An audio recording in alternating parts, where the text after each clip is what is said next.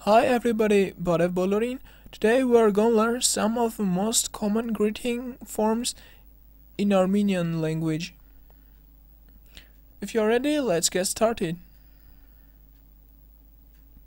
Barev is the most common way of greeting people in informal situations. And if you are greeting a group of people, you can simply add zez. Uh, so you'll say Barev zez. Barev and Barev zez. And uh, for the formal situations, you can use Barevzes and Vorchuin. And of course, uh, the forms of greetings will change depending on the time of the day.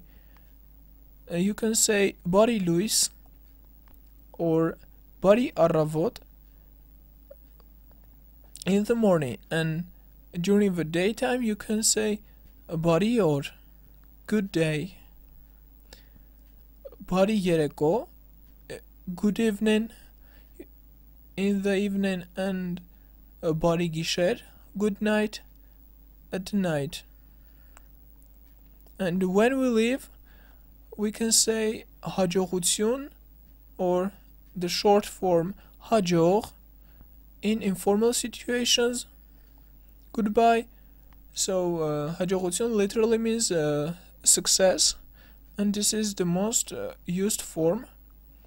And there are other forms, Tsutesutsune, uh, goodbye, Arraijem, see you soon, minchvare, see you tomorrow.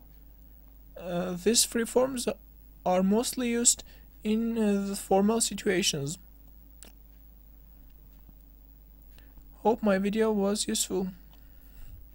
Arraijo.